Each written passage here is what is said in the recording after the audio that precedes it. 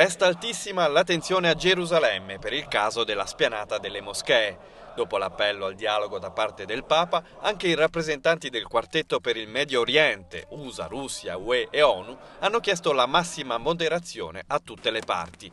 Negli ultimi giorni tre palestinesi e tre israeliani sono morti negli scontri scatenati dalla decisione da parte dello Stato ebraico di chiudere l'accesso alla spianata di Gerusalemme, dove si trova la moschea Al-Aqsa, terzo luogo sacro per i musulmani. La sicurezza nell'area è affidata alla supervisione della Giordania, ma in seguito a un attentato il 14 luglio nell'area le autorità israeliane hanno installato telecamere e metal detector. Poi nel venerdì di preghiera è stato vietato l'accesso all'area agli over 50.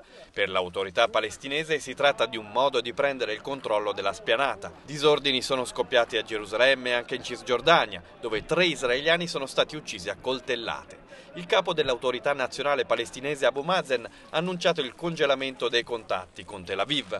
Da parte sua, il premier israeliano Benjamin Netanyahu ha convocato il Consiglio di difesa del governo per una nuova consultazione sulla crisi di Gerusalemme. È atteso intanto nelle prossime ore Jason Greenblatt, l'emissario personale di Donald Trump per il Medio Oriente, per trovare una soluzione alla crisi.